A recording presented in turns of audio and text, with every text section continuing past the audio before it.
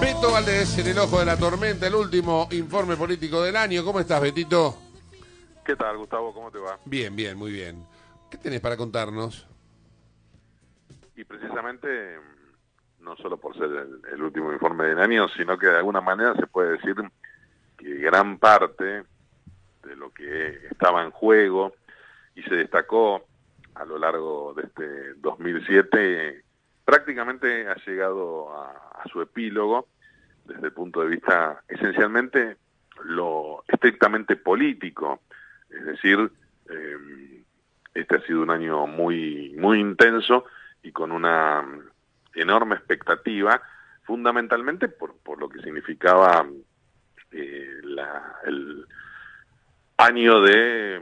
elecciones intermedias, eh,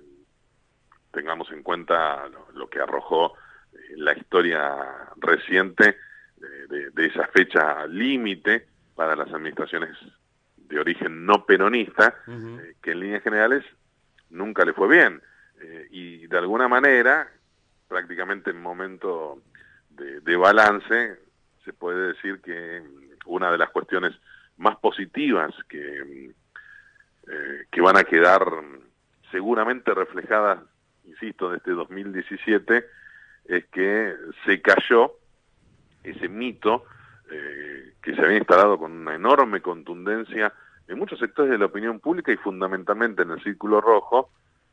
relacionado con aquello de que mm, la, a la Argentina solo la pueden gobernar los peronistas, eh, me parece que es un dato, es un aliciente, es un dato muy positivo, eh, e insisto, realmente importante, no solo por el triunfo electoral que se, se había anticipado en las primarias abiertas, simultáneas y obligatorias de agosto, sino además por la contundencia del triunfo electoral del mes de octubre, y me parece que eso se cierra, de alguna manera, con mucho costo político, con, con idas y vueltas, eh, con lo que significó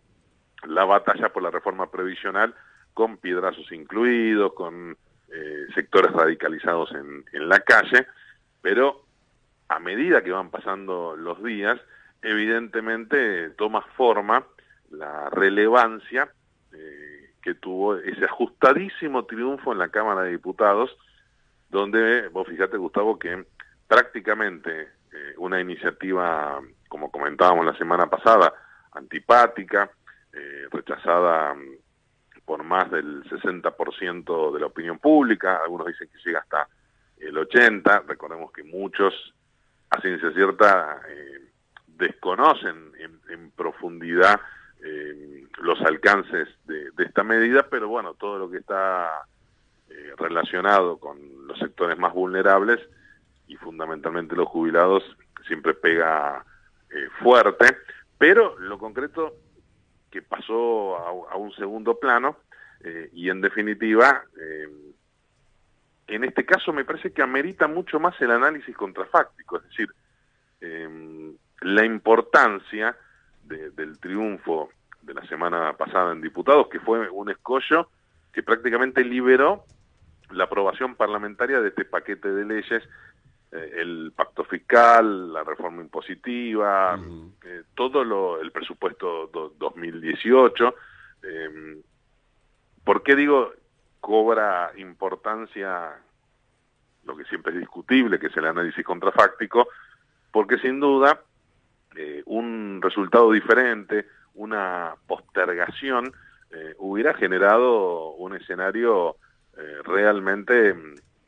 muy diferente al actual desde el punto de vista en materia de expectativas, de gobernabilidad, es decir, el, la administración del presidente Macri superó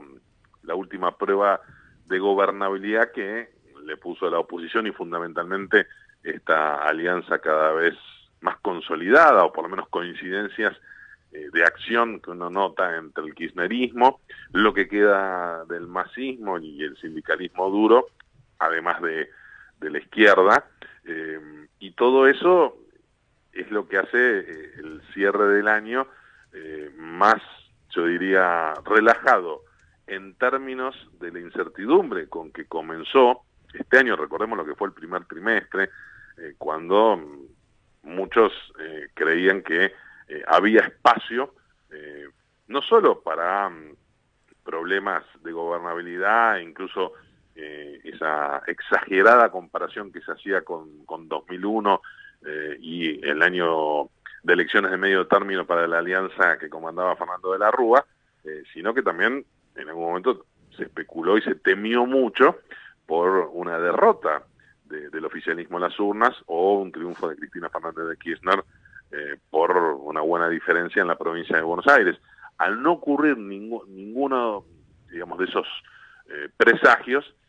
sin duda el cierre eh, de este año que se nos está yendo eh, tiene un balance positivo respecto, insisto, al escenario político. Y, y recién escuchábamos a, Jero describiendo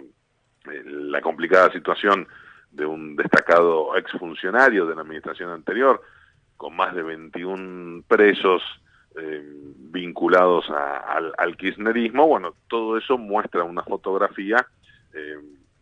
realmente que si nos retrotraemos hace un año eh, y enumerábamos todos estos datos y evidentemente quizás hasta nos hubiera parecido exagerado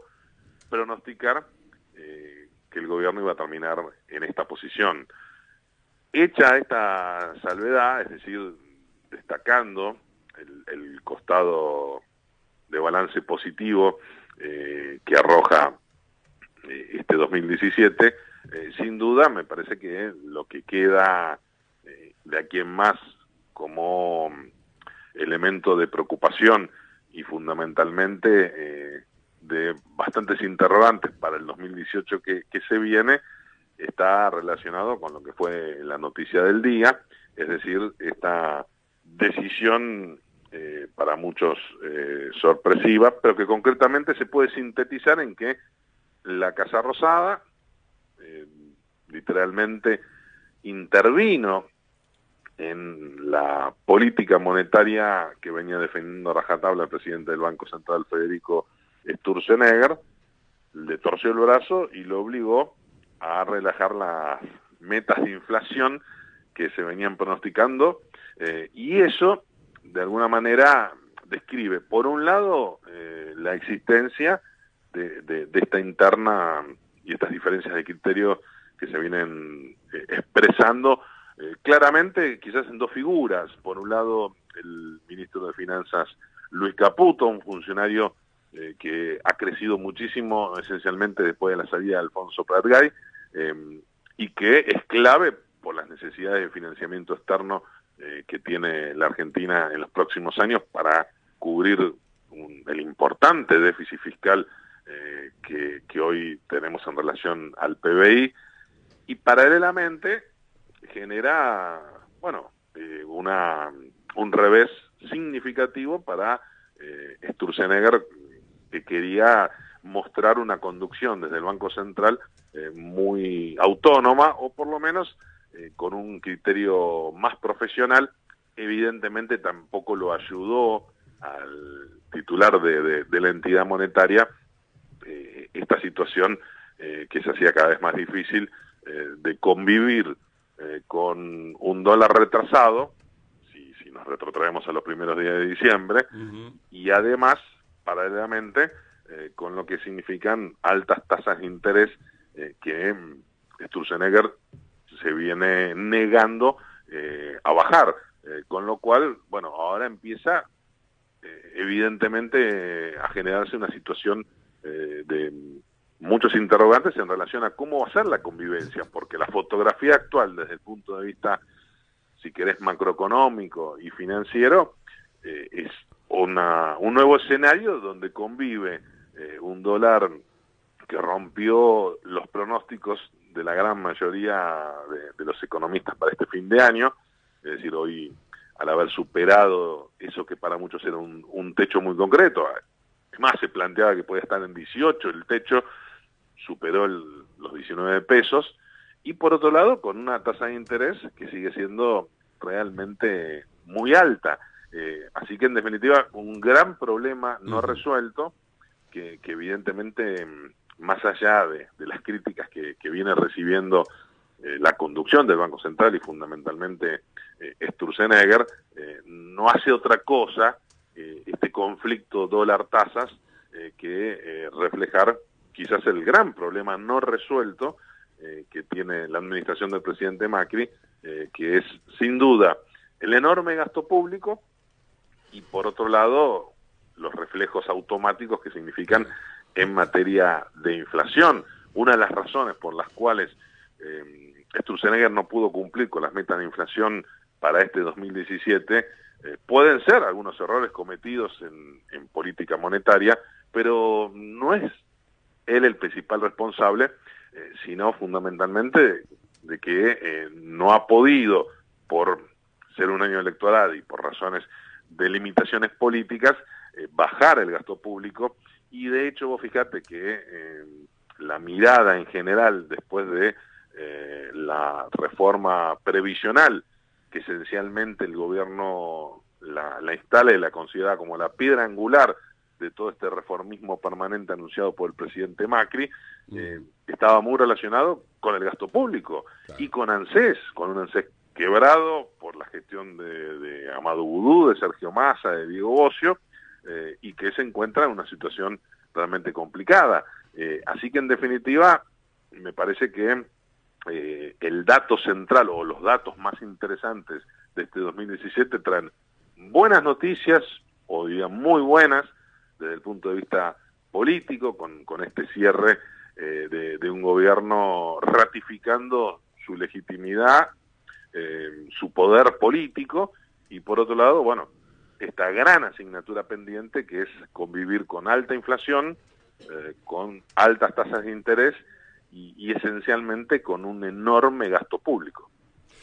Bien, bueno, gracias Beto por este, este comentario político, económico y por todos los este, comentarios que has hecho durante todo el año. Lógicamente que en el 2018 vamos a estar juntos, así que te mando un fuerte abrazo, te deseo felicidades para vos y tu familia y bueno, a, brindar, ¿eh? Gracias.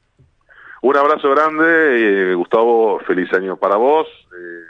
mucha mar en lo, todo lo que significa el 2018 en términos profesionales para vos y felicidades para los oyentes. Dale, chao, hasta luego. Bueno, Beto Valdés en el ojo de la tormenta.